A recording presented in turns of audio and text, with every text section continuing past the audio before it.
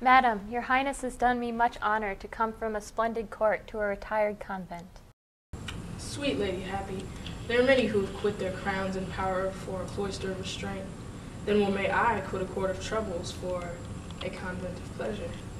But the greatest pleasure I were to receive were to have your friendship. I should be ungrateful should I not be not only your friend, but humble servant. I desire you will be my mistress, and I your servant. And upon this agreement of friendship, I desire you will grant me one request. Anything that is in my power to grant. Why then, I observing in your several recreations, some of your ladies do accoutre themselves in masculine habits and act as lovers' parts. I desire you will give me leave to be so accoutred and act as the part of your loving servant, I shall never desire to have any other loving servant than yourself. nor I any other loving mistress than yourself. More innocent lovers never can there be than my most princely lover, that is she. Nor never convent did such pleasures give, where mistresses and their lovers may live.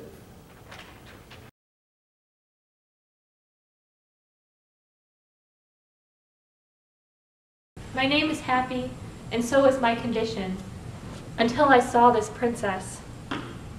But now I am likely to be the most unhappy maid alive.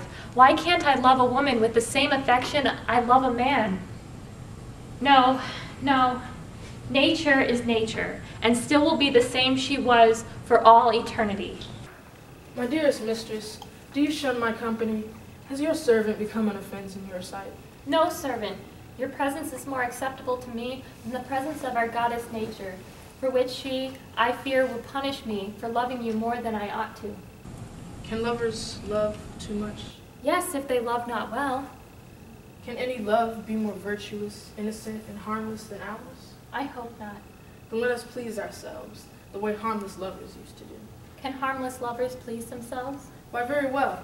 As to discourse, may we embrace and kiss, the souls mingle together.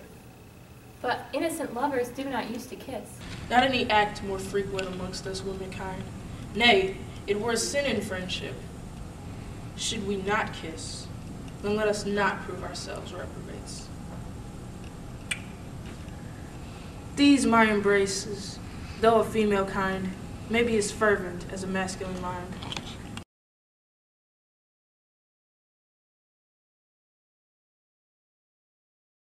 My dearest mistress, do you shun my company? Has your servant become an offense to your sight? No, servant, your presence is more acceptable to me than the presence of our goddess Nature, for which she, I fear, will punish me for loving you more than I ought to love you. Can lovers love too much? Yes, if they love not well.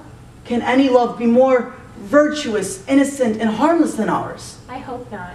Then let us please ourselves, as harmless lovers used to do. Can harmless lovers please themselves? Yes, very well, as to discourse, embrace, and kiss, so mingle souls together. But innocent lovers do not use to kiss.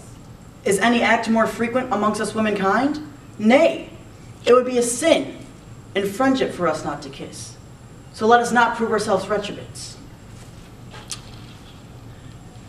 These my embraces, though of female kind, may be as fervent as a masculine mind.